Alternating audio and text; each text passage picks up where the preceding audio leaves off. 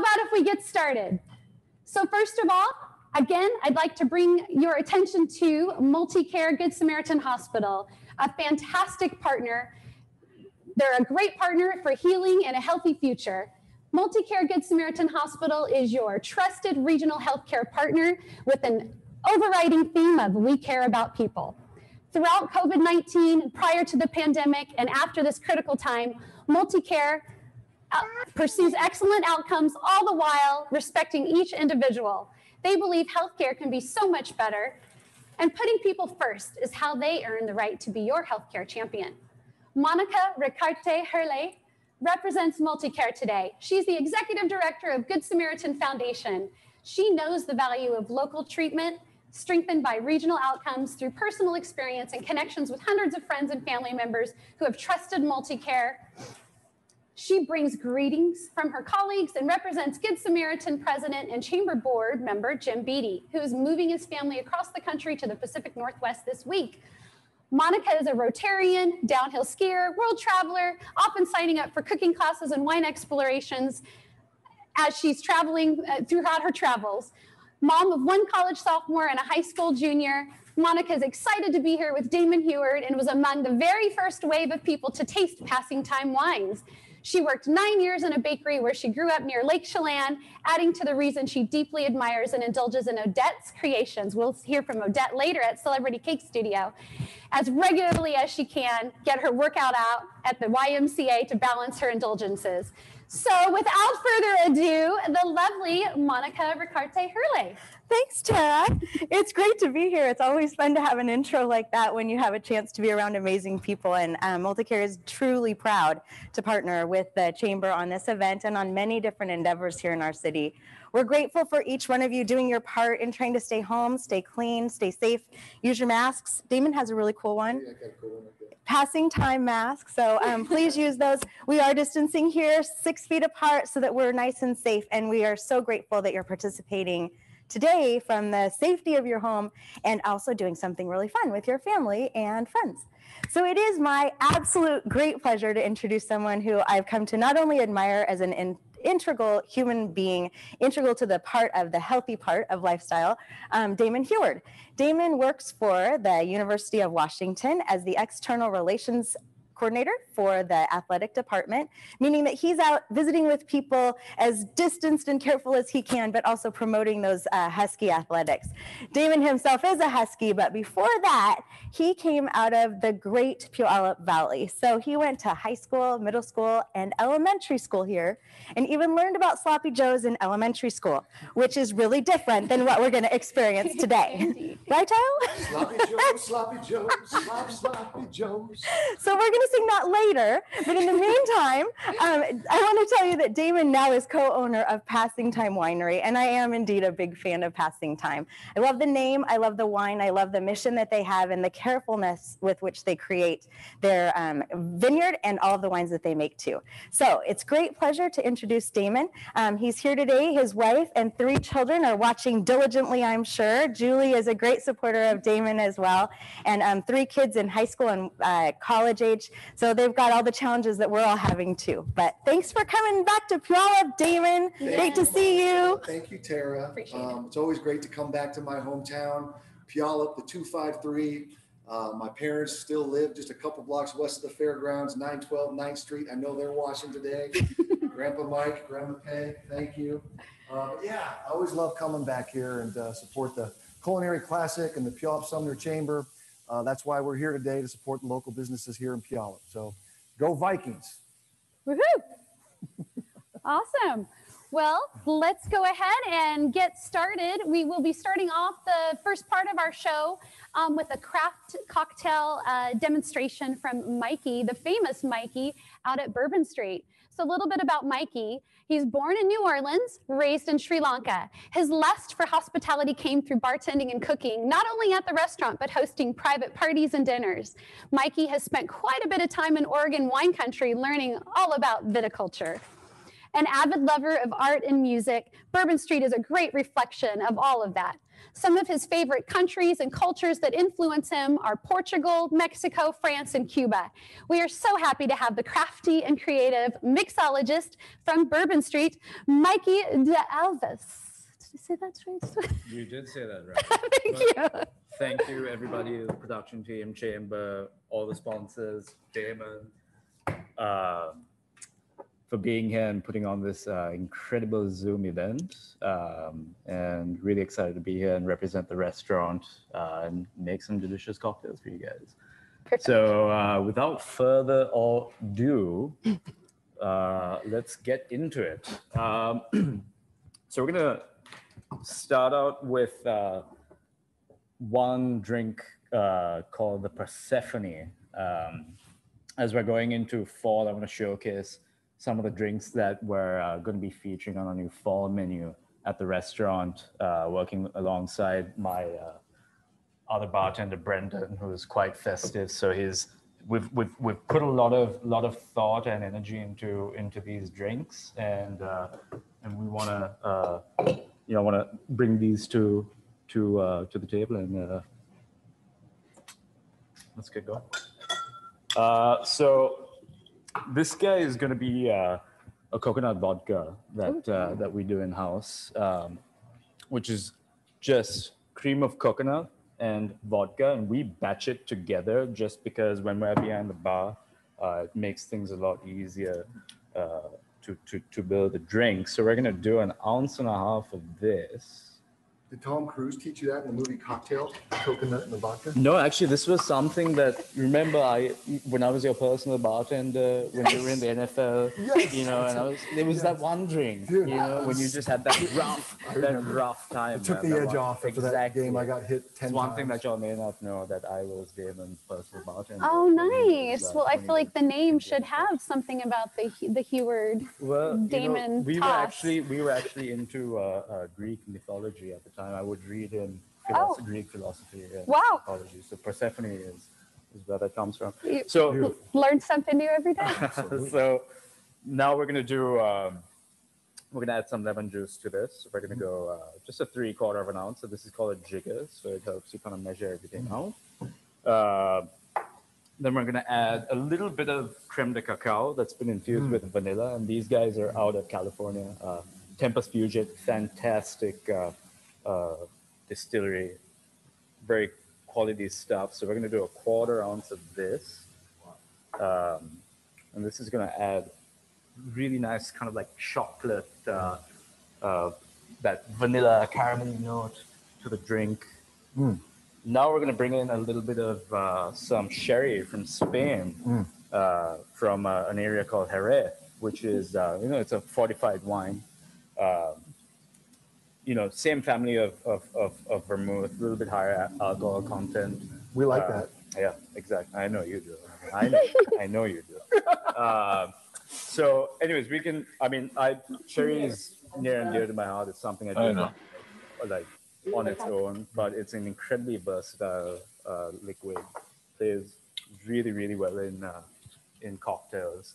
So this is gonna add like a nice funk to it. If you guys actually want to give it a whiff, see, I'm not. You know, I'm not even. Not even. Not even sharing. man. It's like- Nice. Mm. yeah, it's Great super, nose. super, super, super funky. Uh, are you familiar with with with sherry? I mean, you know, My you- wife you- you- cooks you- with sherry you- a lot. You being the the, the the the wine guy in the mix. You, you know, um, I do get kind of obviously the nose. Yeah. You know, you get the kind of some licorice. Yeah, so so that Yeah, you know you can the kind of see how that that plays well in a nice uh, Sure. fall fall uh, fall cocktail. Festive.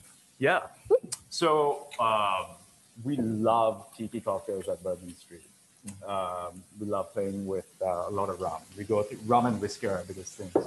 And so one thing you don't really see on cocktail menus too often uh, drinks with vodka. So we wanna we wanna pay a little nod to our vodka friends out there. That's great. So this drink is essentially a riff on um, uh, uh, some some tiki cocktail recipes. So I that's find why. that vodka is a little easier on my body in my old age. You know, the brown liquors uh, it can be a little tougher Stick with in my a late little 40s. So more. I, I appreciate you going with the vodka. That's not Thank what you, Mike. said. You know, this this four roses was brand new, and there's a little bit gone. You see. Oh, And it- and somebody, it- and it wasn't me. Well, I somebody was late that. for mic check, so. That's hmm. true. Yeah, you know, salute to the Rose Bowl. A salute to the Rose Bowl. I like it. So Um, is this, again, just to clarify, is this your own concoction as a mixologist? This is something that so my uh, my other bartender uh, and partner Brendan Fisher, uh, him and I are tag teaming the program at the bar. So we so we came up with this one together. And in general, would you say a lot of your crafted cocktails at Bourbon Street are your own creations? Yes, Awesome. yes, yes, they are. Uh, along with the uh, the help of uh, my team, you know, we we we work we workshop it quite a bit. Uh, What and is then, of that course- party like building these creations, sitting around the meeting table? Just, is I mean, do you guys crawl out of there or like, like how long does it take to come up with these? Leave. Yeah. Well, and all as a night chamber member, I mean, we could certainly offer our services to help with that. Yeah. I mean, you already Anytime. do. Yes. Well, whoops, I spilled the. It takes a lot of great cocktails to make a good wine. Let me tell you. well, I, I, I, I don't, I don't doubt that, man. I mean, or does it, or does it take a lot of wine to make good wine? Uh, it takes a cold beer too two as well. So, uh, anyways, uh, Velvet Falernum. So this guy, uh, John D. Taylor. The cool thing about this is all the proceeds of this goes back to the Caribbean. Um, this is uh, uh, uh, uh, from Jamaica. Uh, this is so basically a maceration of lime, spices, clove, cardamom, cinnamon. Uh, it's rum based, very nice, very sweet.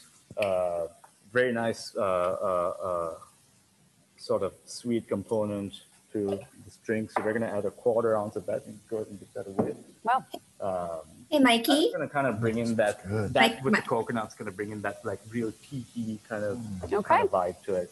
Um, and then just to kind of kick up the spice note a little bit, we're gonna add a little bit of clove bitters to it.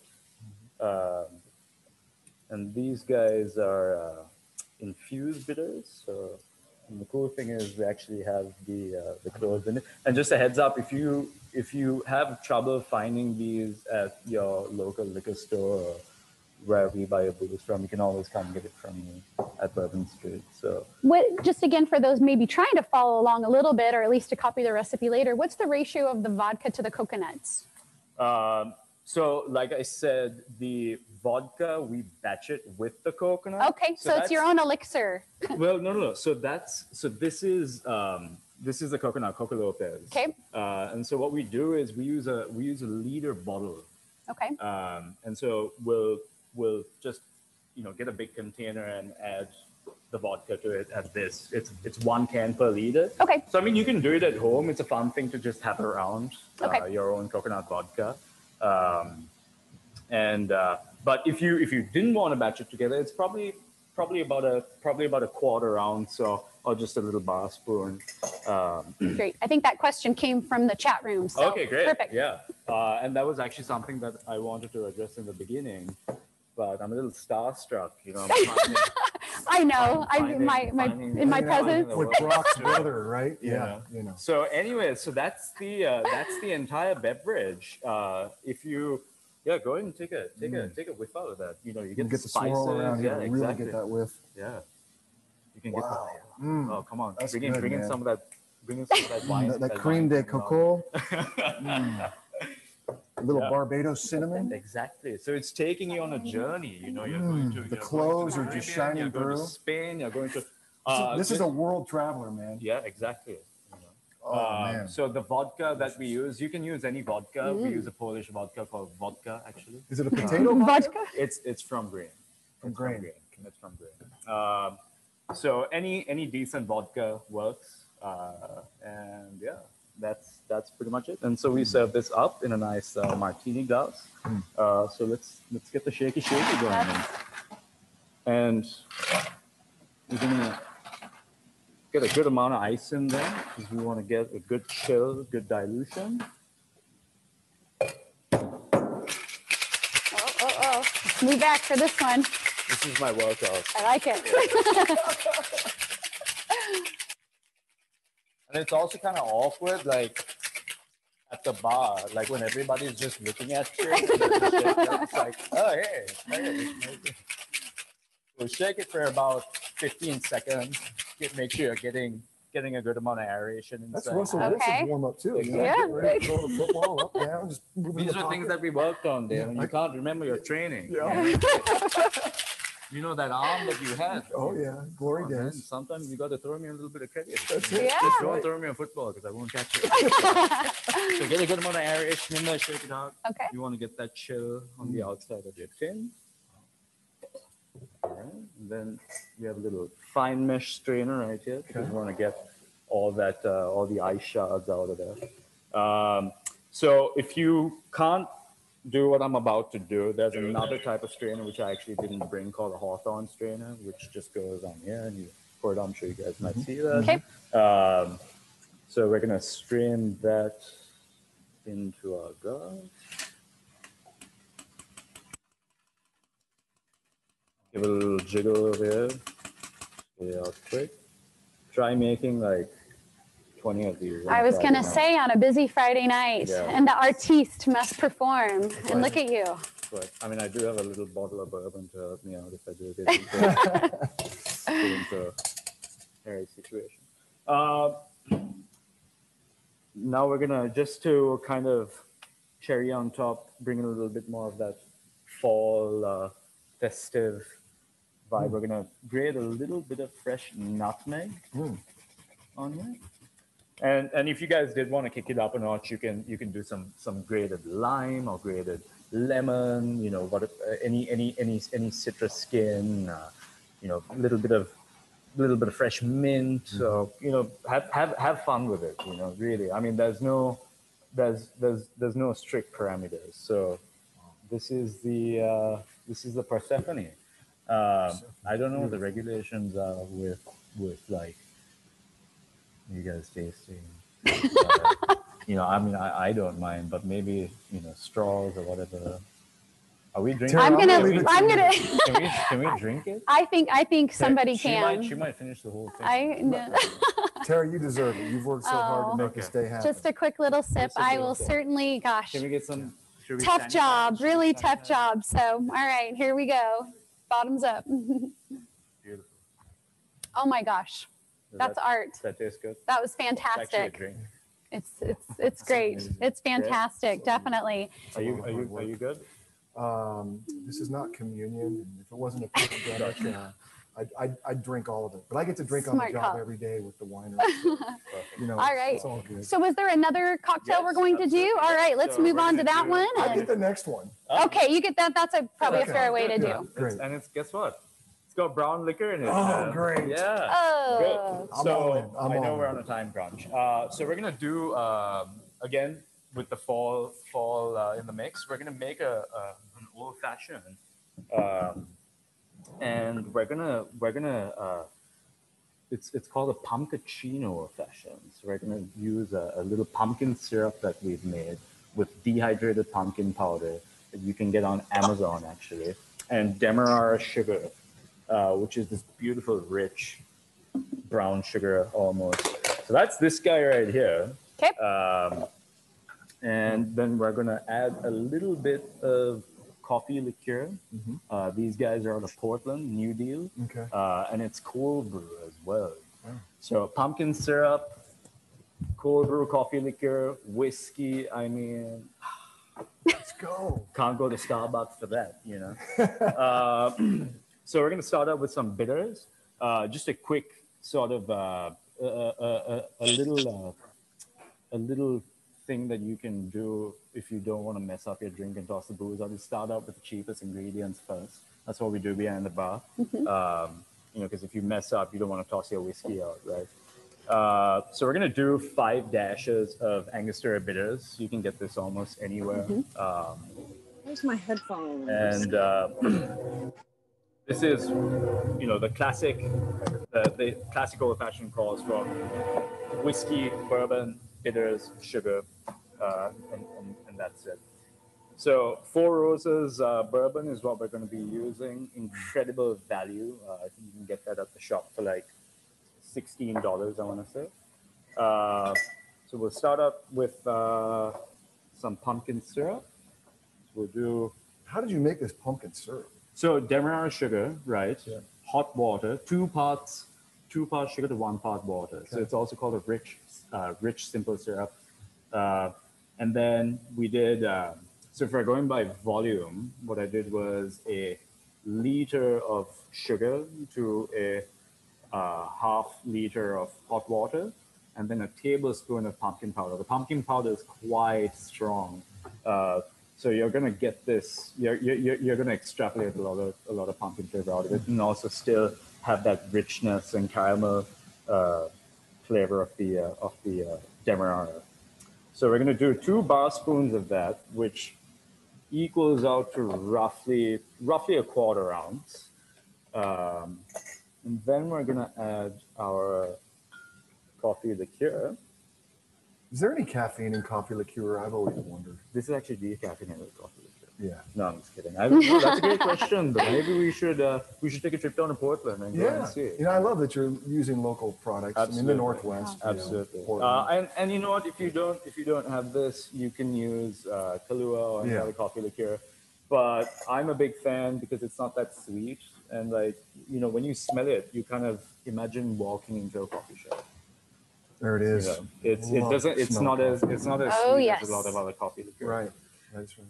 Um, so did we add that already? I forgot. You did. Oh boy, I believe cool. it's in there. You did. The whiskey is kicking in. Um, so we're gonna do two ounces of uh, Four Roses bourbon, and that's the classic portion of um, of whiskey to add to an old fashioned. It's two ounces, um, and that's it. That's- That's it. And look what I bought with me. A fancy big ice cube. Oh, I love it. Hopefully fits Presentation matters. And it is alcohol, so it'll kill off whatever's in there. Um, Kills COVID. it, it'll kill COVID. Good. I think. Uh, we're gonna give it a little, a little stir, stir, and then we'll garnish with a twist of orange. Make sure you express all of those orange olives on there. Get those Little tips and the tricks ring. there. Yeah, make it look pretty. I actually shaped it out before I came here, so Beautiful. yeah, little tra- trapezia. You forgot to shave the beard, though. What's wrong with my beard? No, it looks good, man. It yeah, looks good. come It's on, good man. knowledge. Jeez. always giving me smack. Uh, and also we have these delicious uh, Marasca cherries uh, that we serve at the restaurant with all our old fashions. Wow. We're gonna Jeez, look at that. as well. And Wow, Wow. For you, I love it. Mike. Wow. I This love it. Cappuccino old fashioned. Cheers, man. Thank you. And I would Cheers, that's encourage all of fantastic. y'all to just, you know, if you can't make it at home, come see me for it. You know, you might run into Damon. Well, that is so good. And, looks fantastic. Wow. I'm happy with mine. I, I hope you're happy with yours. well, I'll drink Cheers. the mocktail. then, And you can guess. drink, yes, you drink the mocktail. Well, there's nothing in here. So- you can't chase with an empty glass. We are, um, we're gonna, uh, I'm gonna chat with you a little bit about your restaurant as we get ready for the next segments. And um, so, hey, I hope you enjoyed and picked up some great tips and trips, uh, tip, tips and trips. Wasn't that a fun Tricks, trip down Bourbon Lane? um, so again, uh, Mikey, thank you so much. I, I'm gonna actually ask the viewers to come on in for a little intimate conversation with you. Welcome. You're welcome, welcome, you're a very colorful and charismatic character, I would say. Um, definitely You know, part of the trying my best. I'm trying my definitely part of the fabric at Bourbon Street. And we would just like to learn a little bit more about what um, the restaurant offers. So we know the crafted cocktails have definitely helped to put you on the map. But what what can you tell me about some of the recipes and menu items? So we focus on uh, classic Cajun Creole cuisine. Uh, my father, my parents spent quite a bit of time in Louisiana, uh, so that's where the uh, the inspiration comes from. Uh, so yeah, I mean, just good old soul Creole cooking, and especially at a time like this, you know, bowl of gumbo and etouffee. I mean, will really set you straight. Uh, wash that down with a delicious cocktail you know. So yeah, we've been open now for um, seven. We're going on seven years this December. Just uh, uh, December 2013 is when we opened. Okay. So Well, congratulations for that. That's a feat in itself. Yeah. I know it must be challenging the last six months. I think that your family is um, is certainly made some heroic measures with a lot of what you did do um, Well, to support the community, and so Yeah, we it's- appreciate it's- that. It's all thanks to the community. You know, our philosophy is it's easier to decay than it is to grow. We work Yeah. very hard at what we do, and we, uh, you know, we we really owe it to uh, everybody in Puyallup and actually in other counties as well that have come to come to see us. Uh, Yeah. So, you know, when when when the shutdown happened, uh, we were quite unsure as to what direction the restaurant was going to go, but Mm-hmm. we knew we had to we had to uh, stay afloat and and and win and uh, you know do what we can for for uh, for the not not only the restaurant but for our team and Yep. you know so so once that happened i mean the the, the everybody came knocking on the door and like keep feeding us I love it. And you've created some really great outdoor space with the parklet outside as well, which is wonderful. So, hey, I um I love Bourbon Street. I love their jambalaya. We had their uh, crab stuffed mushrooms the other night with the hush puppies, which are so fantastic. So come see Mikey out at Bourbon Street. It's just it'll be a real treat for you. So thank you again. Cheers. Cheers to you, my friend. Salute. Salute. Yeah. All right. We are going to move on over now to our cooking segment, I believe. Take it over, Damon. Yes, well, I'm here with Chef Brian. It is now time for our cooking segment. After a couple cocktails, I'm hungry. And uh, Chef Brian has some great food to tell us uh, about here today. So get out your meal kits and let's go. All right, first a little bit about Brian. He grew up in the small town of Yelm and during high school took a job as a dishwasher for a local restaurant, Arnold's Country Inn. Little did he know the opportunities this job would provide him. Um, he was working with his chef owner, Arnold Ball, who was an accomplished chef. And just by being in his kitchen, Brian learned the core principles and work ethic required for a successful chef. He rose through the ranks in the kitchen, learning recipes and procedures to build the foundation of his chef career. He worked there for six years, had a brief stint at Anthony's home port in Olympia, and then accepted a job at Olympia Golf and Country Club as the sous chef. Six years later, he was hired as the executive chef for Oscar's restaurant in Tacoma, Washington. He spent seven years in that position and was introduced to the owner of Crockett's Restaurant Group, Sean Brobeck. He applied for the executive chef position for this restaurant and Crockett's Public House. He was hired on. Here we are, eight years later, and five total restaurants and three different concepts. And he has successfully led the kitchen from an administrative standpoint until now. Along the way, they were selected to appear on the Food Network show Diners, Drive-Ins, and Dives. And he was fortunate enough to represent the restaurants on national TV. They have successfully built the brand and their customer base ever since. They're a real gem in Puyallup. I'm so happy to welcome Brian, Chef Brian. Thank you. I appreciate it. You bet. This is a serious blast from the past here in that uh, the history of how I got here. Um, so we've got our meal kits out today. There's a couple things that you want to do ahead of time. Um, you want to preheat your oven to 400 degrees. The artichoke should go in. Um, in your kit, your artichoke is already prepared. It's already grilled, seasoned. It's ready to go. You just have to heat it up. So put it in the oven um, if you can now, um, and then it can heat up while we're doing the rest. Um, so for the artichoke, it's served with a Calabrian pepper aioli. Um, very, very simple, and it's kind of the key to the dish. Um, the artichoke, very, very simple. I've got a whole artichoke here. Um, you've seen these prickly things. Um, a little bit of cleanup on them. We just uh, shave off the outside of the stem. It's really fibrous, and you want to kind of get down to the tender meat. And then on you cut it in half. The inside is a thistle, actually, and it's really prickly you're gonna want to scoop that out and leave as much of the leaves as you can, because the leaves on the end of them, that's that's the part you want to eat. Yes. Um, so for the aioli, it's simple: Dijon mustard, lemon juice, mayonnaise, and Calabrian peppers. I have a couple of peppers here. They're really small. They're from uh, Calabria in Italy. Um, they're imported. Very important. It's kind of the key to the sauce. So when you're assembling the aioli, the key is blending the pepper, lemon juice, and the Dijon all together. And you really want to puree the pepper all the way so you get an even, they're spicy, you get even heat throughout, you get even color. Really a simple, simple sauce. So what I have is the Dijon mustard, the lemon juice, and the pepper already pureed, and the mayonnaise. So this is really simple. We're talking one step, put it together, and mix it up. Very, very easy.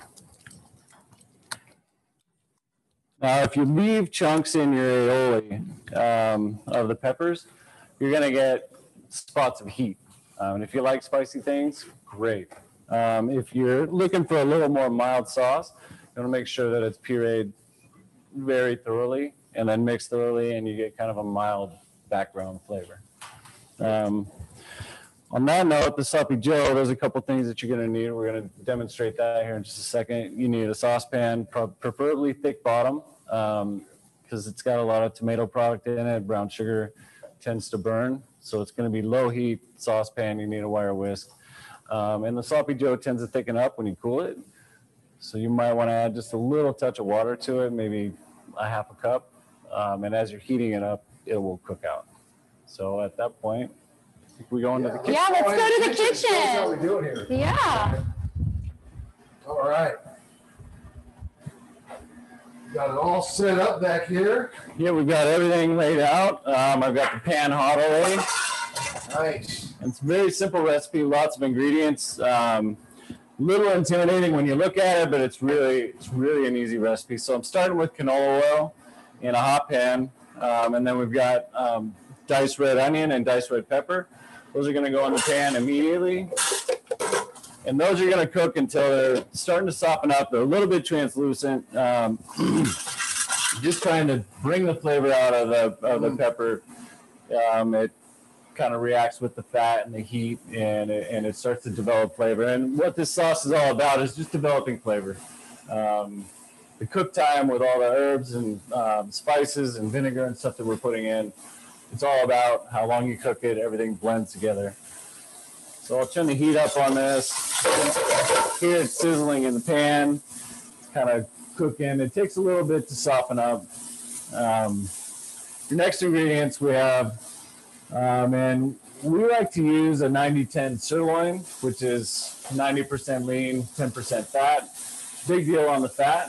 Um, you don't want to have a bunch of fat because what, what happens is it rises to the top and your sloppy Joe ends up being real greasy.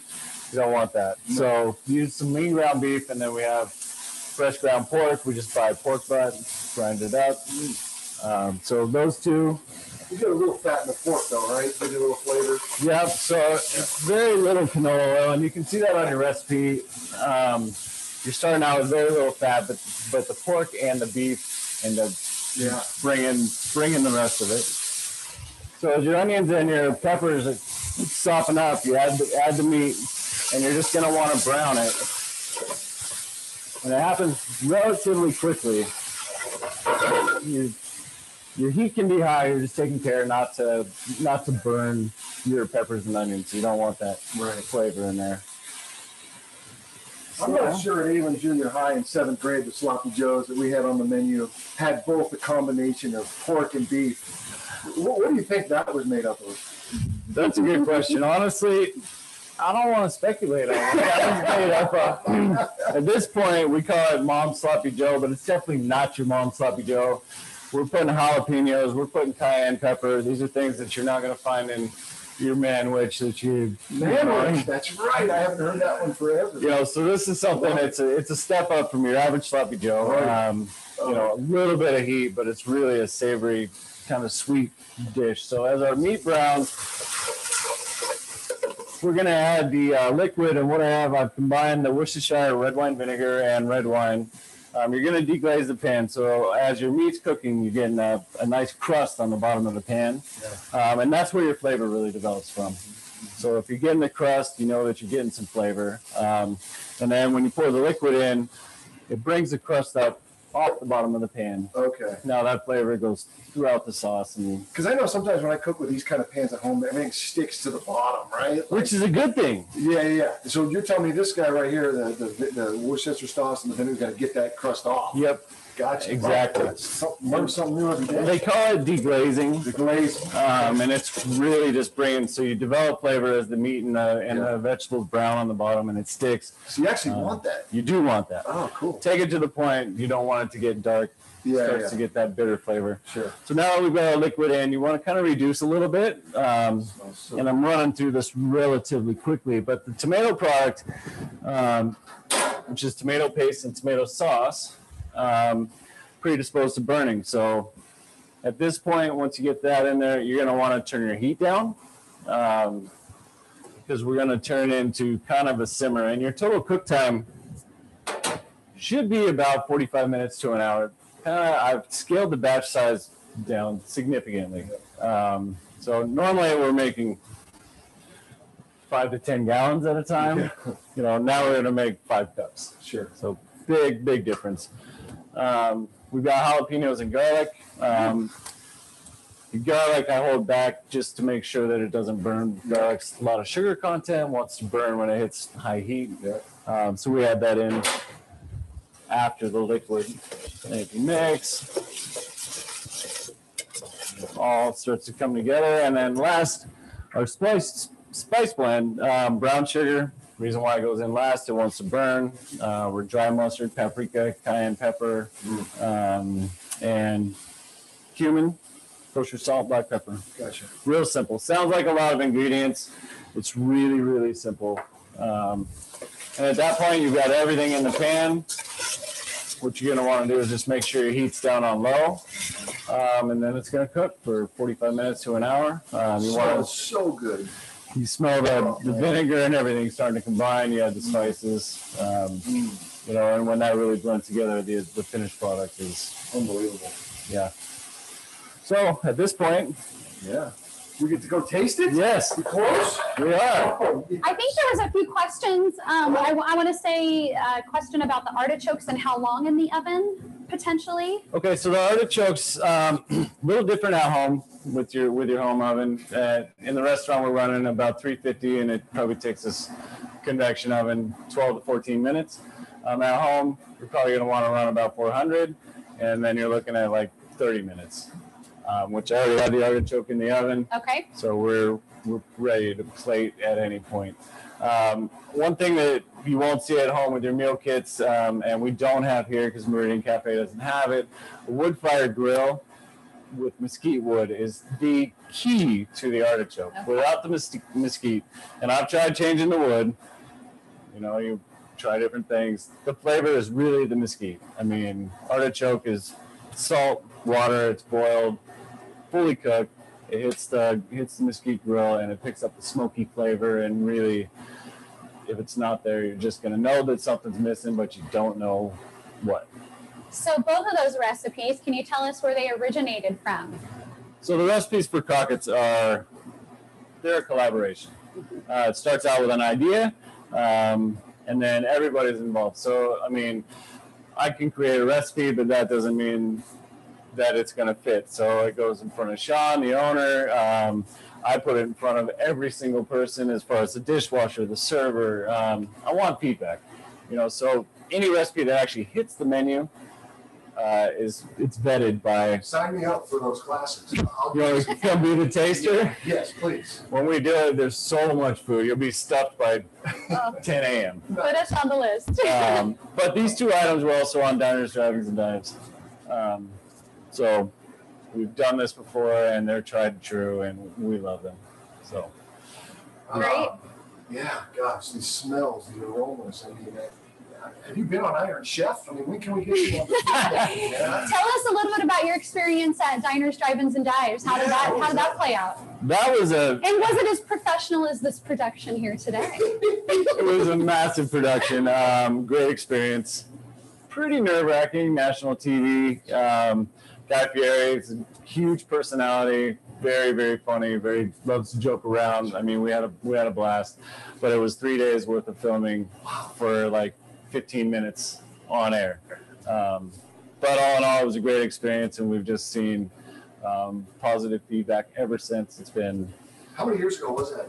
I think we're looking at eight years. Um, 2012 as we filmed in November. Uh, the show aired in February. And then keep airing those shows. Not late at night, I'm watching them. Yeah, I frequently get texts. I just saw you on TV. I'm like, when I was like eight years younger.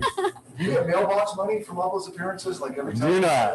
nope, That's that's messed up. sign your life away. What's up? Because I bet he is. I bet he is. And so these two menu items sounds like they have stood uh, withstood the test of time. Absolutely.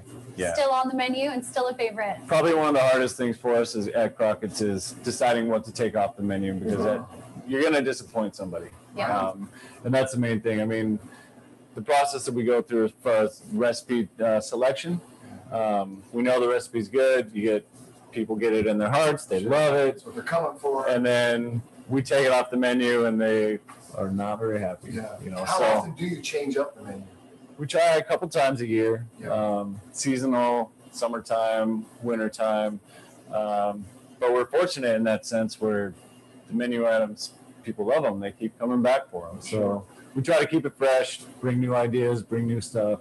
Um, What is the signature? Give me three entrees on the on the menu. Like maybe that's impossible because they're all great. They're all your creation. and that's the, There's that's three. Give me give me give me two of them.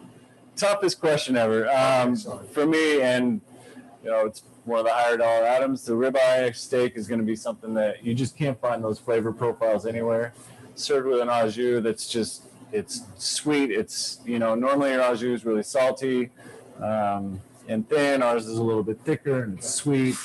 Barbecue sauce and red wine in it, and um, and the spice blend on the steak is spicy, and it's just something that you don't find. Um, and then for me, I'm a You chef. guys grill that? We do. I'm Yeah. mesquite, Oh, so mesquite you're getting the same thing. sauces. Okay. Yep. Great. For me, I'm the chef. You know, we eat on the fly, so the tacos are really good to eat down in the corner. You know, when you're when you're just trying to get some food in you, and the tacos, you've got shrimp, you've got um, the cod or the braised chicken. Um, you can't go wrong with them. I mean, they're just delicious. Okay, back to that ribeye. My mouth's watering. What temperature do you prefer to cook a ribeye or serve a ribeye at? I prefer rare. Um, and that's for me, but if it's high enough in meat, I don't even need to cook it. I'll eat it raw. Um, it all depends about the quality of meat, and we're we're really sourcing uh, as high quality as we can as far as price point goes. Top two thirds choice. It's Washington grown, um, grain fed. It's it's really higher end higher end meat than you find in a lot of places. Do it with the mesquite. Mesquite is the key for a lot of things. Um, we have that grill fired up in there. When you go in there, it smells like a campfire a little bit. Um, Yeah, that's the best. You know, and it kind of adds to the ambiance. Sure. Um, a little bit technical. You got to make sure you keep the wood on it, and if you let let the fire go out, well, nobody gets steaks. How how hot do you like to get that grill before you put that steak in? Pretty close to red. Um, depends on the Six, temperature. seven hundred degrees, I would guess probably higher. even higher. Um, and that's for rare. So on the rare steak, you're going to go high heat. If you like a little closer to well done, you're going to want to put it on the lower heat. That way, it doesn't burn on the outside as it cooks.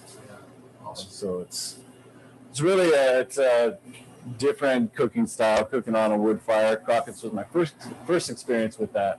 Um, everywhere else, it's always been gas, um, but the wood fire just adds something. You just can't get it without it. You Sure. know, so. All right, well, let's plate it up and we can continue to talk. I think there are a few questions I'll try to get through as well. So Okay. let's come on back out. Is that? Let me grab the artichoke.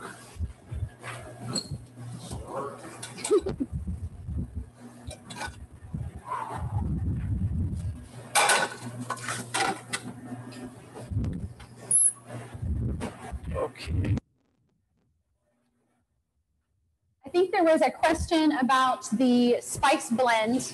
I'm not, I'm, you may have covered it, but someone is still asking a little bit about the spice blend that you use for For the the aioli. aioli? Maybe it was the sloppy joe. I guess it's, I'm trying to follow along here as well. Um,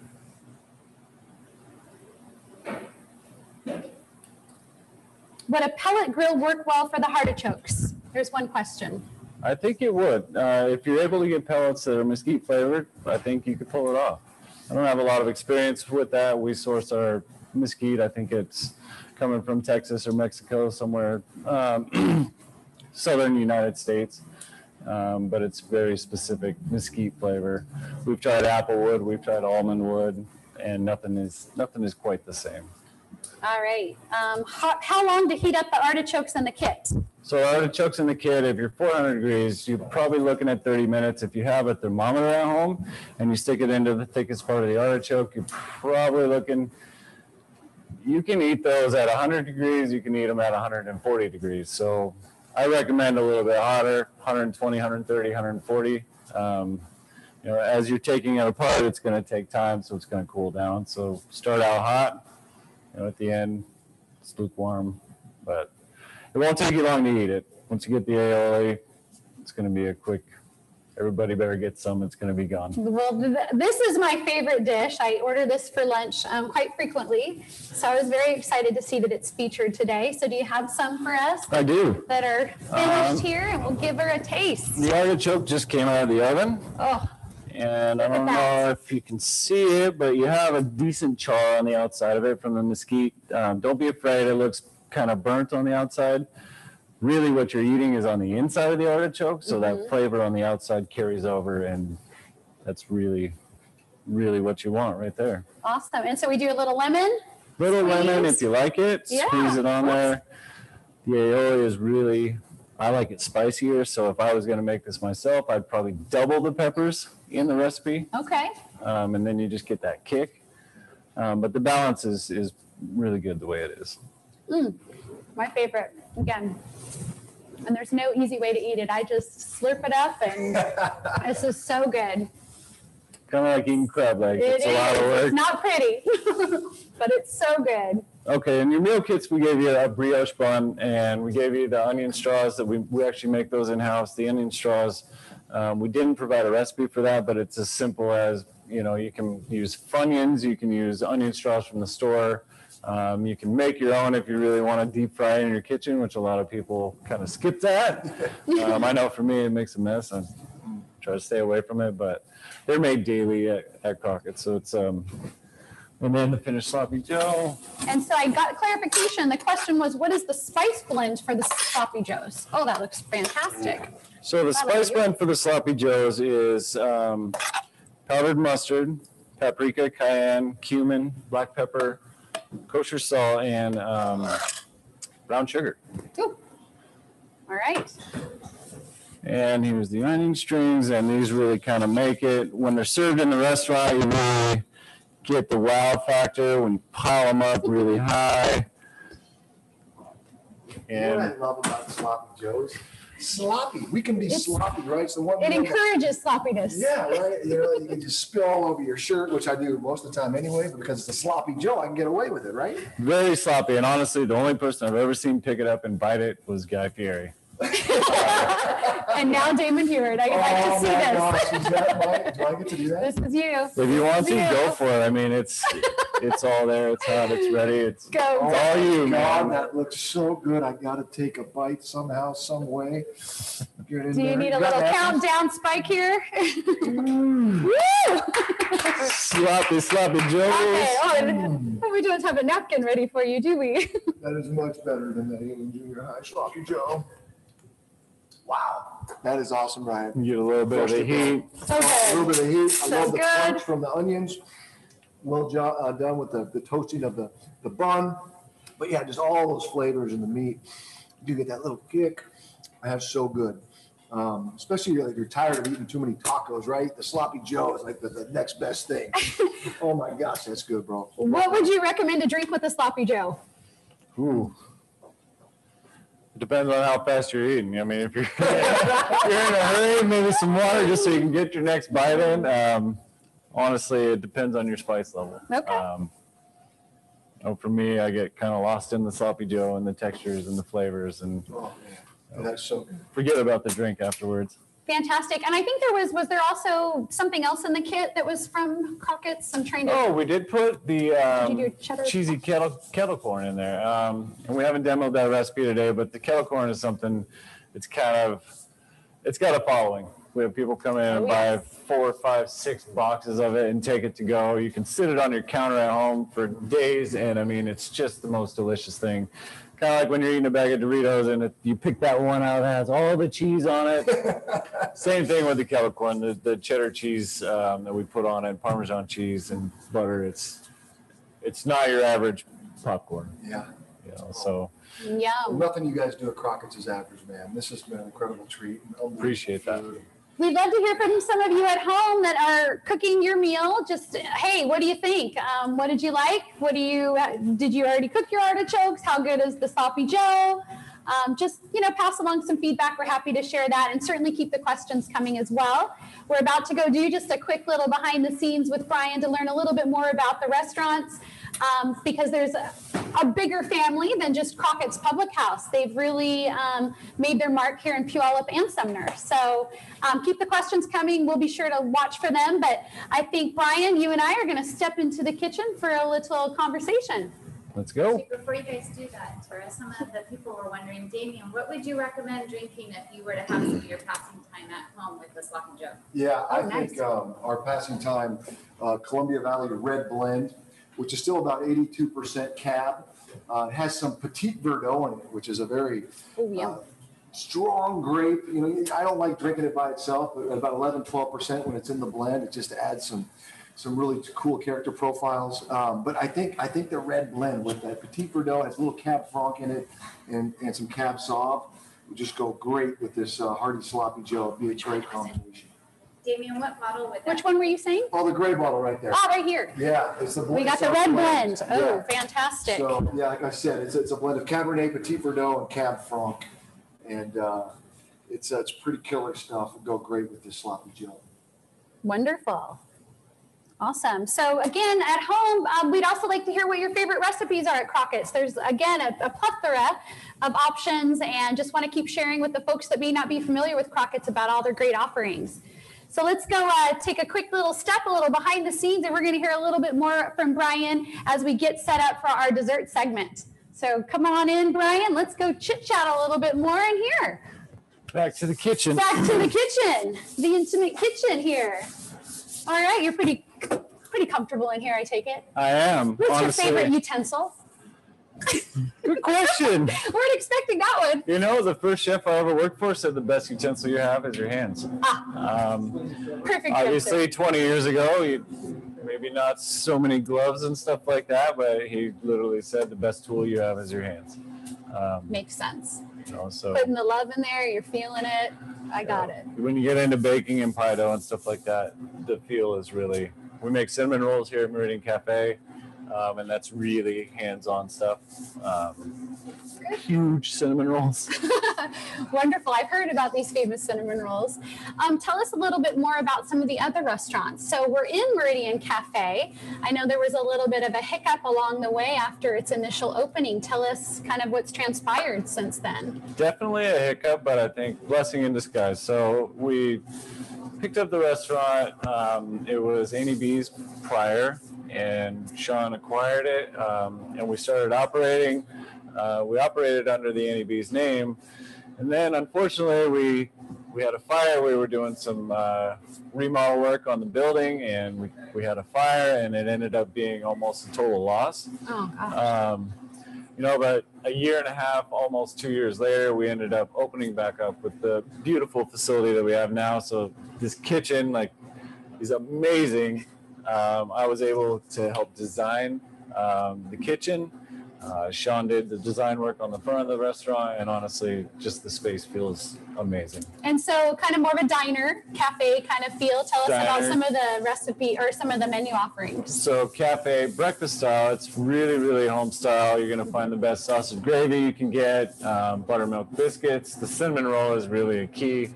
We've got um, Bernadette who makes them, and it was her recipe. Okay. Um, she's kind of been around for a long time. She's got to be at least 65, um, but she is a gem, and she makes the best cinnamon rolls. Um, but everything, I mean, we just try to do everything really well. Hash browns, home fries. Um, you know, farm fresh eggs, all the all the breakfast stuff. So if you wake up in the morning and you're hungry and you want to get cooked for, come on in. It's been a great place, a very easy uh, place to call in your breakfast, swing in curbside and grab it. Um, I do that quite frequently, and I love your bacon. The bacon. Bacon's pretty darn good. I think uh, I'll be sitting down in the corner eating bacon at some point. Who doesn't love bacon? So tell us about Trackside. You have some really unusual pizzas that are um, just fantastic. so Trackside was Sean's first uh, restaurant concept. Uh, I think he's probably 13 or 14 years old at this point. Okay. Um, so, and we have one location in Puyallup and one in Sumner. Um, and, and really, trackside, Puyallup, right on the tracks. Your tables are going to rumble when the train comes by. Um, but really, the concept is from scratch, fresh ingredients. I mean, we're making the dough every day, we're shredding the cheese. Um, and then the pizzas, it depends on what your favorite is. Uh, The Grand Trunk being the one with all the toppings and tends to be one of the more popular ones. Um, uh, you kind of want to use a fork almost because if you pick it up, everything falls off. Which what's on your Chihuahua pizza? That's my favorite. Chihuahua pepperoni, jalapenos, garlic, sausage, um, spicy, and just really savory, delicious. Great. So we've got a location at Trackside here in um, Puyallup and Yep. also in Sumner. Yep. And then uh, most recently uh, added a second location in Maple Valley for Crockett's Public House, correct? Absolutely. So huge undertaking. Uh, we were all tired after that one. Um, so we took the Crockett's concept from Puyallup. Um, Sean built and designed the restaurant in Maple Valley. We got open, I think we're a little bit over two years at this point. Obviously, COVID and everything kind of gets in the way, but I think we're doing really well up there. We've got a great team, um, and the community's really received us really well. Yeah. Yeah, I, I'm sure it has been such an adjustment. You employ a lot of employees. Um, Yeah. Typically, I guess pre-COVID, how many employees? Uh, I think we were close to 200 for the five restaurants. Um, I think we're still very close to that. Great. Um, we've been fortunate throughout COVID. Um, we made the adjustment and really upped our delivery and takeout business. Um, you know, we never delivered from Crockett's before, but at this point, if somebody says they want delivery, we're going to make a way. We'll find a way to make it happen. Yep. Um, so we've we've been fortunate, and honestly, the pizza places got busier um, during the lockdown Yeah, it's true. uh, we saw really an increase in business, and it, it was it was really a blessing. Um, I can't complain. Yeah, and I and again, I think um, Crockett's was another, or Trackside Pizza was another great community partner. Um, the chamber did a chip in with the chamber that a lot of you folks donated to, and we were able to get pizzas out to some of our first responders. In this case, I think it was uh, East or Central Pierce Fire was the recipient of some great pizzas and some of your Greek salads. So thank you. You're You know, welcome. we've all been hit hard, but when you turn around and, and roll up your sleeves and give back to the community, it goes a long way, and we appreciate it. It's been it's been great, and we really appreciate all the support from the chamber, and you know it's we're just happy to be here, happy to help. Great. Well, this has been fun. I hope we get to you know keep doing some of these series. It's really a great opportunity for you. I hope you're having fun at home. I'm going to check in and see how we're looking for our dessert segment. We're looking good for the dessert segment? All right, let's go over. Saving the saving the best here. We're just gonna get started with uh, the wine segment here, and then we're gonna go to the dessert. Perfect. So, you know, all this great food we've been having and cocktails and all this stuff. Um, That artichoke dip, if uh, you're diving into that, I promise it'll be even better with a little bit of passing time Chardonnay. Um, I'm gonna backtrack just a minute and I'll tell you a little bit about the passing time story. And I'll take my mask off too. Thank you. I sound a little bit better and we got our nice social. We've got our social distance. But yeah, I was a, uh, a young, young dumb rookie with the Miami Dolphins in the late '90s, and um, my teammate Dan Marino uh, was a big wine guy, uh, Italian kid, grew up in Pittsburgh. His uncle Chucky made a homemade wine, and uh, Dan and his wife Claire were, were so good to me and Julie, and they would have us over for the holidays. You know, I'm 3,000 miles away from home, really for the first time. And uh, Dan had a buddy who was a distributor at Southern that actually turned him on to Washington wines in the late 90s. And so Dan's like, Damon, you ever had any of this Leonetti, this uh, Andrew Will? You ever had any of this stuff, man? I'm like, no, Dan, I couldn't really afford it as a college kid, but man, that stuff's good. Pour me some more. So the bug bit, and I just fell in love with wine. And Dan and I, our relationship obviously was about football. And it became about wine. And we always talked about one day when I was done and graduated and, and moved back home to Washington that we would start passing time. So fast forward, uh, you know, almost 20 years, and here we are Wow. with passing time.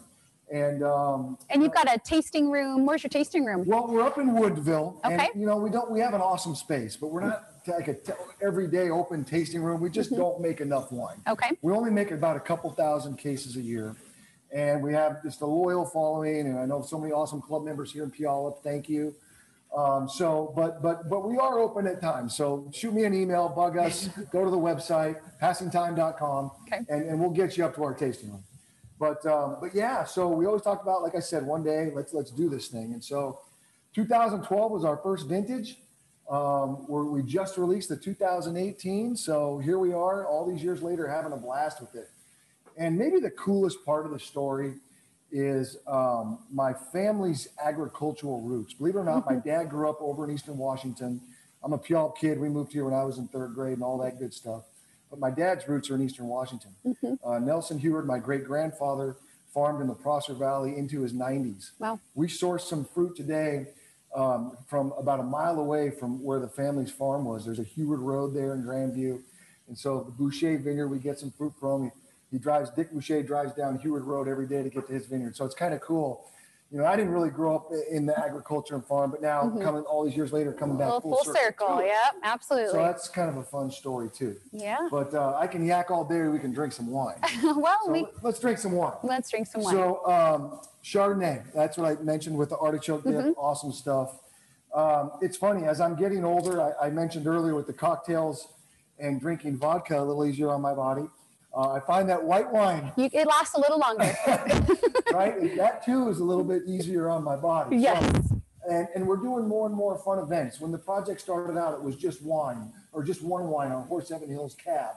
But now with, with dinner parties and fun events like this, Mm-hmm. Yep. you got to have a white wine. Gotta have a white And, wine. and like I said, I'm drinking more and more of it in my old age. So uh, this Chardonnay, it's really an everyday simple Chardonnay. Um, if you notice the colors, this wine was actually designed to go to South Florida. Beautiful color. It was a wine that we made uh, to be served on premise in South Florida. We had a contract lined up with Southern, and then the pandemic hit. And rest the restaurant scene, kind of as we know, took, took a little bit of a dive. So I was left with quite a bit of it here at home. and I thought, you know, I'm I'm gonna see around town if people like the Chardonnay. And it has been a huge hit. I got a bug a lot of the folks down here in, in Puyallup because up north I got it by the glass at El Gaucho, Como, Daniel. So Good. we, we got to get it here here in Puyallup, We- and, and I got some just some more of it too. So We know some restaurant owners. yes, we do. Yes, we do. um, and it's very reasonably priced. This is I want it to be an everyday on premise by the glass pour. And so this wine is actually the first one we make offsite. It's not made at our winery in Woodinville. We make it over um, in Mattawa uh, with the Milbrandt family. Uh, Kendall Mix is the winemaker for this. Okay. The fruit comes from three different vineyards up there, uh, Upland, Wynn, and Evergreen. Um, it's it's really cool. What's cool about this wine at the price point, I think you'll notice right away, is the way we fermented it. Like it's a little bit different. So you'll feel the weight uh, of the wine on your palate. This is going to taste much more expensive than a 20 $25 bottle of wine because of the way the malolactic fermentation that it went through. Um, when I want a Chardonnay, I do want a little bit of that butter. You know, I want a little bit of that oak, but not too much. And I think this this Chardonnay kind of just falls right in the middle of what you're looking for. So if you got this guy at home, twirl it around, you smell it on the nose, just classic Chardonnay, vanilla cream. You'll get that on the nose. But just again, the weight on your palate.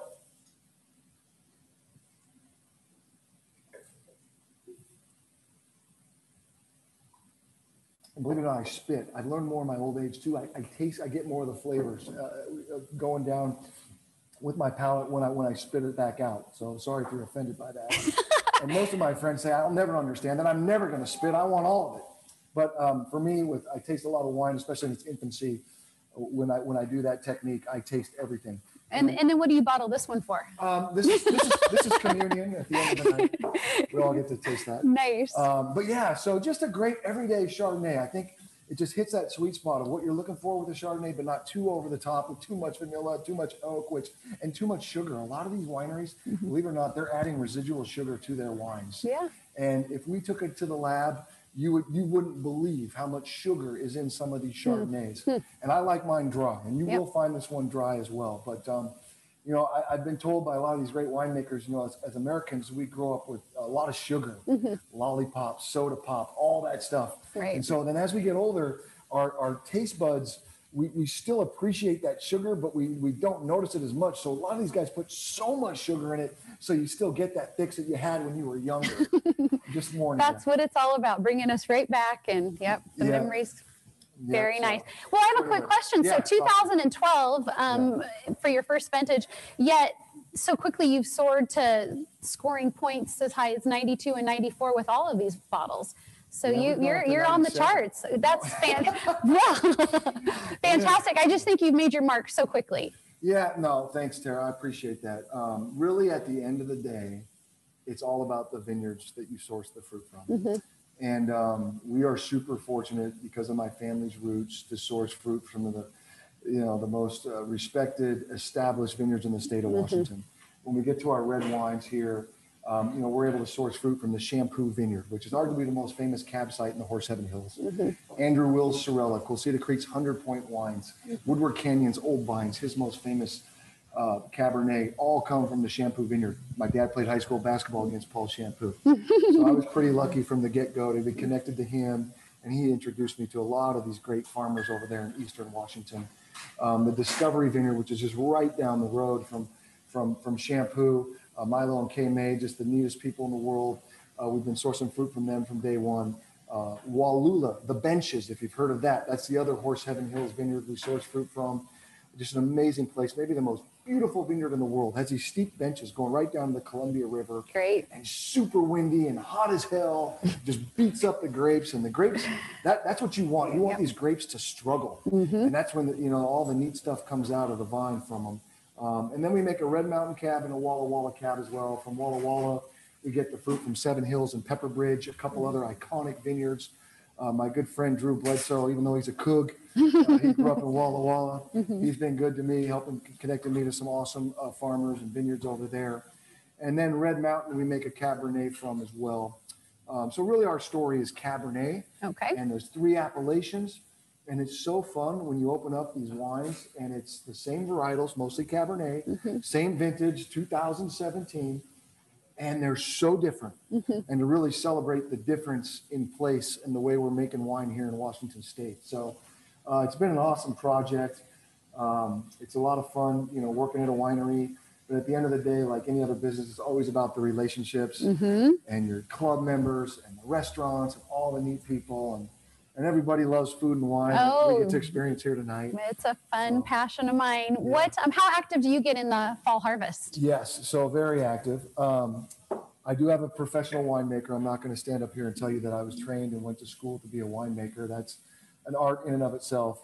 But all along the way, my winemaker, Chris Peterson, would tell you that I'm a pain because I, I want to know everything. I want to be there all the blending trials. Okay. But during harvest, um, it's a lot of fun because I do, I try to get over to the vineyards. Oh, you know, two or three times during September into October is when we usually pick our fruit. Cabernet kind of can hang a long time on the vine. Cab Franc, Merlot as well. Um, so yeah, I, I love to get over there, visit with the farmers, taste the fruit, make sure we pick it when it's just ripe. Some people want it a little uh, riper than, than than normal. My winemaker Chris Peterson likes it when it's when it's just right. He thinks it's more fresh and, and brings out some more interesting characteristics uh, with the final product. So that's a lot of fun. And then obviously crush at the winery when we haul all the all the fruit in to Woodinville and we get the big machine out and we're sorting it out and, and all that fun stuff is a lot of fun. It's a lot of work Yep. but also a lot of fun. So, you know, we're up to about 2,000 cases, you know, sometimes up to 35 tons of, of fruit coming in on average uh, uh, any year. And so it, it is a lot of work, but uh, the most important part of, of the journey in making this wine is when you pick it and then just doing it right during fermentation and crush. Great. Well, you're certainly passionate about it. That shows. Um, the wines are exquisite. If you haven't had a chance to sample some, I certainly encourage you to do so. So you are still taking wine club members?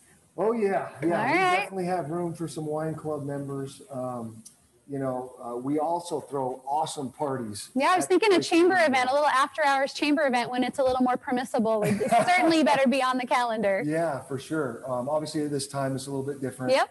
Um, our big spring release weekend is a lot of fun. We usually have six, seven hundred people up there. Dan Marino comes to town. It's an awesome party. Um, but obviously, during this time, it's been a little Just a different. little But different. we'll get back to those days. Yeah. Um, we also do a Monday night Merlot event. We always get a Seahawk game, Monday night football, everybody up the pizza truck, the winery, and then we always do a holiday open house. Okay. So, um, yeah, our club members will tell you that I think we throw the three best party weekends uh, of the year. We don't throw a lot of them, but when we do, we do it right. So Yeah. that'd be a great reason to join our club. And, and the other thing with our club, I think so many wine clubs, it's like, oh, I get four bottles every month, and then you get stuff you don't want. Ours is not even like that. It's either three bottles a year, six bottles a year, or a case a year Okay. of our Cabernet. So you get to pick. And then throughout the year, we do offer our small batch offerings. And if you want them, great. If you don't, you don't. Like I said, our Chardonnay, our red blend, we always release around the holidays, and a Merlot. So it's really pretty simple, but Passing Time is a Cabernet story. Our club is really simple. Mm-hmm. We'd love to have you on board, passingtime.com. Yeah. Well, I promised my husband no more wine clubs, but sorry, babe. One more. Just one more. Just one more. So are we ready for our dessert segment?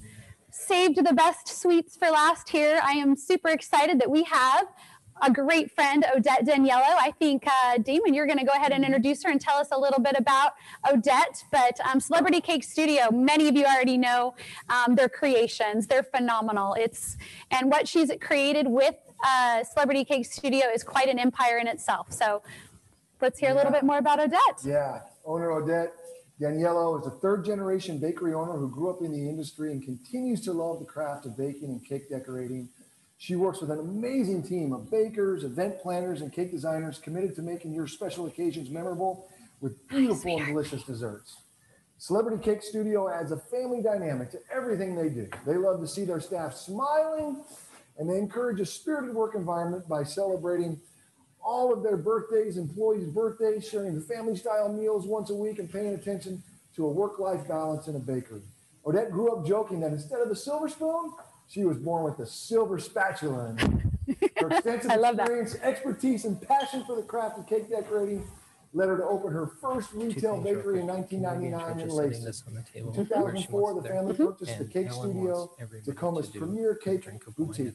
The two Okay. stores soon consolidated to become Okay. Celebrity Cake Studio, Okay. and for 20 years have helped make their clients celebrate the milestones of classics. their lives. Odette, there she is. Oh. So I guess Oh yeah, fist bump. There we go, elbow bump. Where's the camera? Hello, everybody.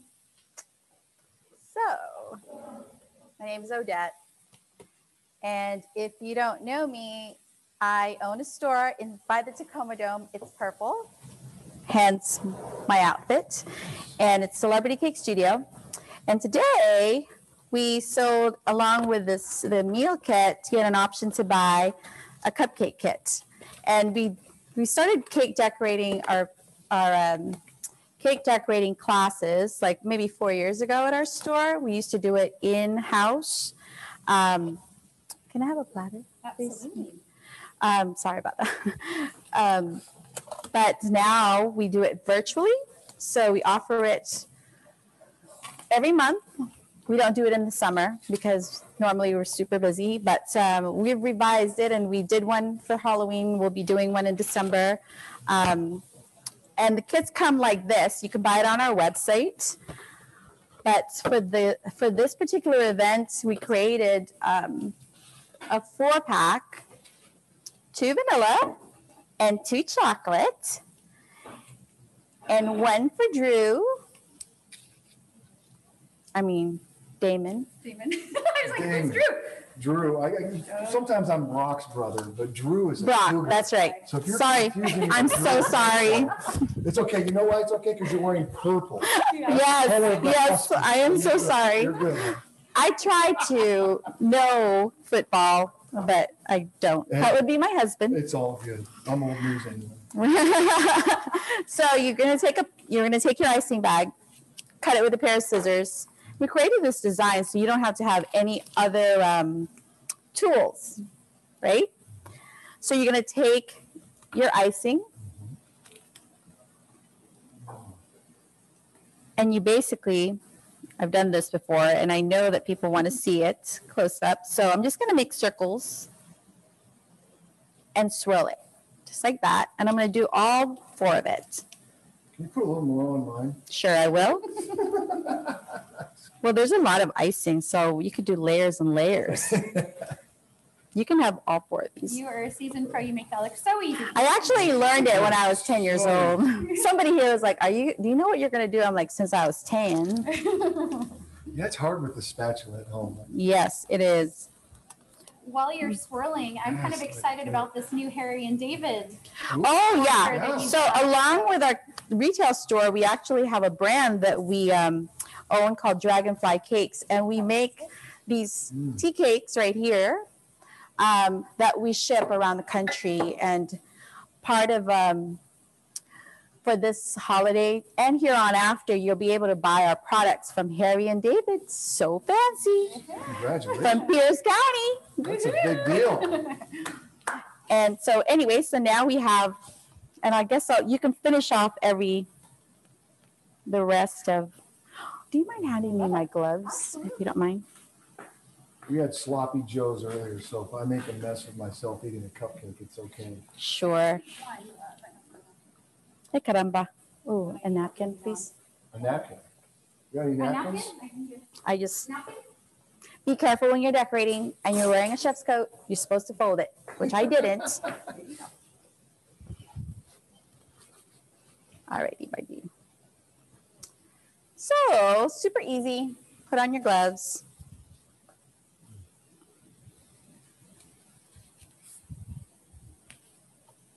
Take some of your sprinkles.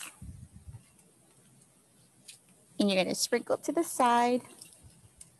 Actually, it's a little hard to do it that way, so I'm gonna pour it out. That's a secret. I always Yeah. over the floor when I'm making cupcakes. Right. You know, you shake it on top. Okay, I got You it. actually pick it up, right, and you pour it on a plate, and you just kind of Look at that. What age did you start doing this? 10. Ten. So I was a child laborer, and that is no joke. That's how um, we got to the US, actually. I moved to Guam from the Philippines when I was young, and my family worked my aunt's bakery, and I was a cake decorator there. But I loved it. It was so fun. So, yeah, I can decorate with my eyes closed. And this is before cake decorating was even cool. right? Actually, it started to be cool in 2000, and everybody started realizing, oh, wow, I can become a cake decorator. Well, it's got its own TV show. right? Yeah, that it's when, yeah, absolutely. Doing great with um, some cooking, uh, wait, cake decorating classes. They sell out every time. Yeah, oh, yeah. You We can't do. really Register for it. You can't, you can't register for them anymore. Well, you can now. You can now. It's virtual. But the live ones, it, people just um, would sign up right after um, doing the class. So then it just books up. We only could do 24 people at a time because our store is fairly small. Um, so it should look like this. Beautiful. So the, the designs are you we made these like we pre-made these because it's it was easier. So this is a maple leaf. This is made out of rolled fondant. Rolled fondant is like sugar clay with white chocolate, and um, and we molded it. Okay, I, I'll tell you the hint of how I molded this. I I actually took um, like a fake leaf, and I took the vein out, and that's what we used to mold it. Wow. It's beautiful. Super Authentic. super secret. Festive. So then you put it on top, and this is just a football for Damon. Thank you. Andrew. and Brock. And Brock. Brock. Brock, There we go. I love it. Y- your brother is a is a as on the radio. Yeah, he actually did the Seahawk game today on Fo- NFL Fox. He So- was the color analyst. My husband is such a big fan and was like, "What? Are you gonna be on like Zoom with his brother? How come you don't Yeah, tell me I you do cool things?" And I was like, "I don't know." I'm like, "What are you gonna talk to him about?" And I said, "I don't know." Cupcakes. Cupcakes. Like, I know nothing. I was like, how come you get to do it? I'm like, because I'm I'm cool. Because he was actually going to come here Okay. so he could talk to you and I could just decorate. Yeah, yeah, I have some stories about Brock. I gotta tell him that. So here it is. I took, um, we have these three pieces of fondant in here. There was an orange one. So we're gonna do the pumpkin. So I just split it in half. Like you can do one big pumpkin, one little pumpkin. So that's what I'm gonna do. It's like a mama and a baby. And you make it into a big ball. Two balls. Whoops. And then you squish it a little bit. Squish. Kids are so good with this because they just know exactly what to do. Plus, it's just like Play Doh, but edible. So now you have this, and the way you make the pumpkin dent, you take the pair of scissors and you go from the top to the bottom. What? Movie magic. Here it is. There it is. No CG necessary. Wow. Do it with both little pieces. Doop, doop, doop, doop, doop. And the acorn. Ta-da! So actually you can make, an- this is how you make an acorn. So you'll take the brown fondant and you kind of make it into a, I don't know what the shape is. Like, Like a football. kind of. Tom Brady deflated football. Right. that. Tom Oh my gosh, we made They weren't cookies. deflated, by the way. We we made cookies that were deflated and sold so many of them. Deflated cookies. Deflated cookies. Mhm. There you go. Yeah. Did you patent them? No. I don't think that's patentable, but I thought it was hilarious. The guys in our bakery are just like football fanatics. Mm-hmm. I was actually listening to the game today. I was like, what is this? But you could they lost They today. did. 10 It points happens. apparently. Yeah. Bills are pretty good. Yep, exactly what my husband said. They're good. Our defense is in trouble though. They need some help. Oh no, really? Yeah. What happened? Well, you pay the quarterback thirty-eight million dollars a year and there's not much left in the salary cap. Oh shoot. But what one else you gonna theory, do? one I'd, theory. I'd pay for him too. He's the best in the league. yeah, plus he has a, Yeah. it seems like he has a really good attitude. Yeah.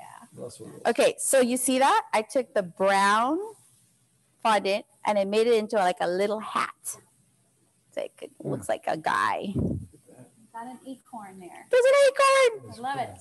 Yep. And so you need to make like little dents on the acorn so that it's like crisscrossy, like a real acorn, you know? Mhm.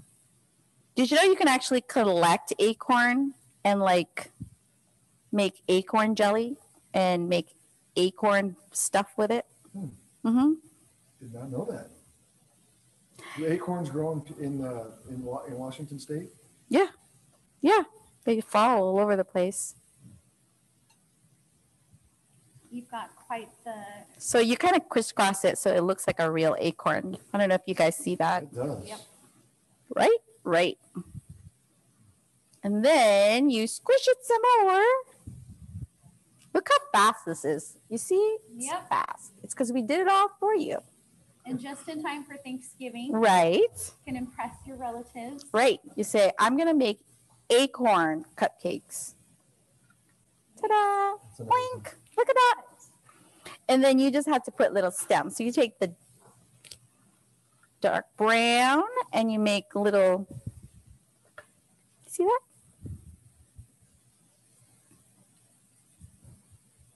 Tiny like Not for the pumpkin? spaghetti. Yeah, because you need a little stem. Yeah, Stems. Can't leave that out. you can't. How are you going to pick up a pumpkin otherwise?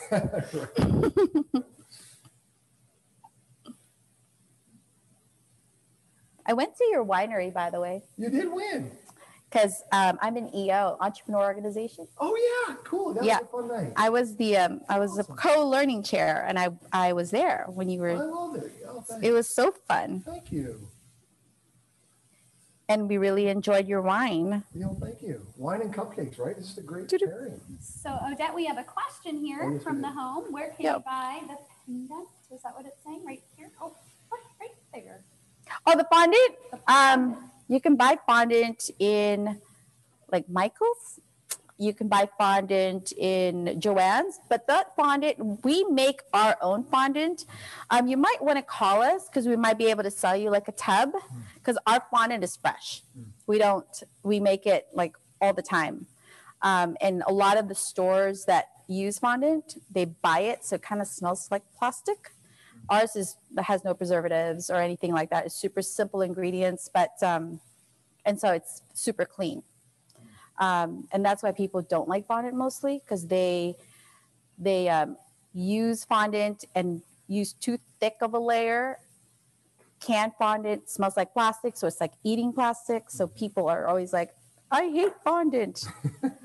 Not my fun. And It took your it took me two years to develop that recipe. Two years.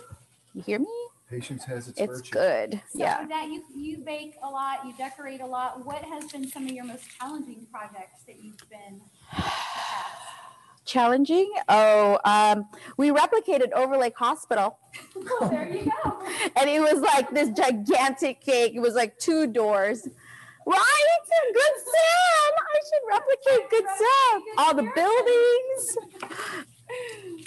Wow. My best friend actually works at Good Sam. I, I'll just replicate the OB wing. That is for Oh. labor and delivery. Nice. And uh, Celebrity Cake Studio, a bit of a family affair. Yes, Also, my sister is my my um my sister is my um hi Sean.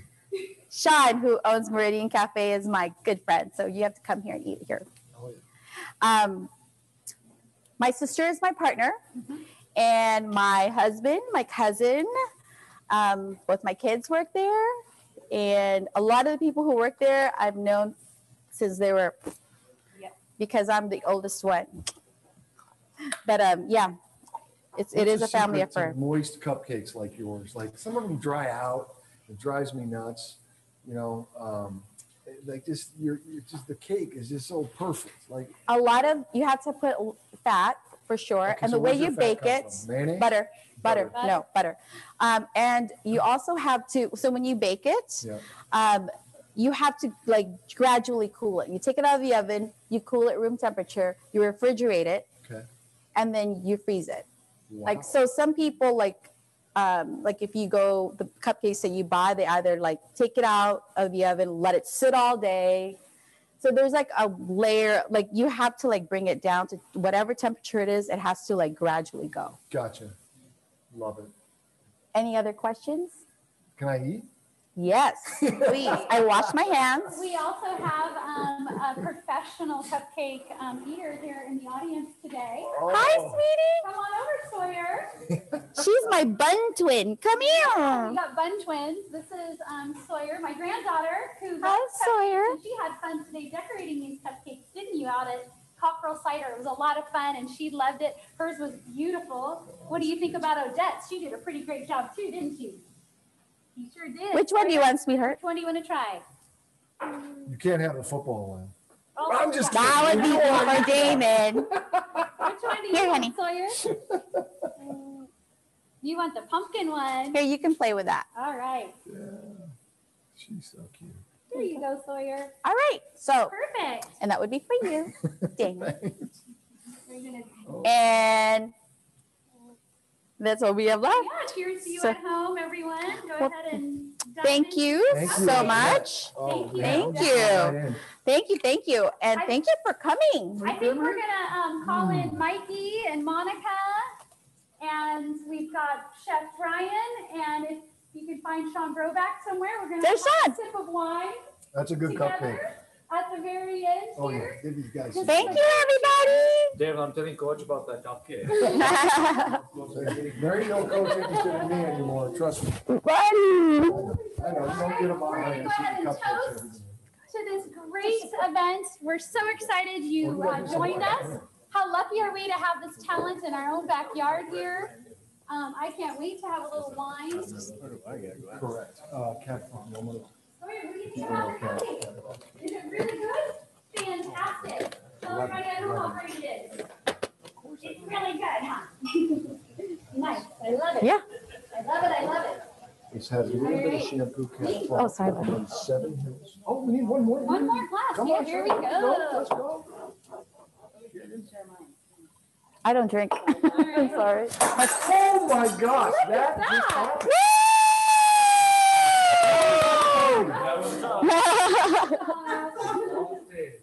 As long as you're okay, honey, that's all that matters. No glass in the face face there. That's how we party in Puyallup. Cheers. Cheers. Cheers. I, I'm not, I'm not afraid to take mine out of a your glass. Ready? There we go. Fill it up. Yeah, a little more room for me in there. I heard it's Okay. really yummy. Cheers, everyone at Right? home. Thank Cheers. you Thank you so much. for What a fun joining day. in. Damon, you're awesome. Sarah, you're awesome. Thank Oh, you. this is Mikey, great. Jonathan, Brian, Mikey, John, John. again. Love you guys. Hey, crew in the back, Ellen, you're a goddess. Thank you all. Goddess of the virtual world. We thank you so much. John Kelly, your team, you guys are awesome. Thanks so much.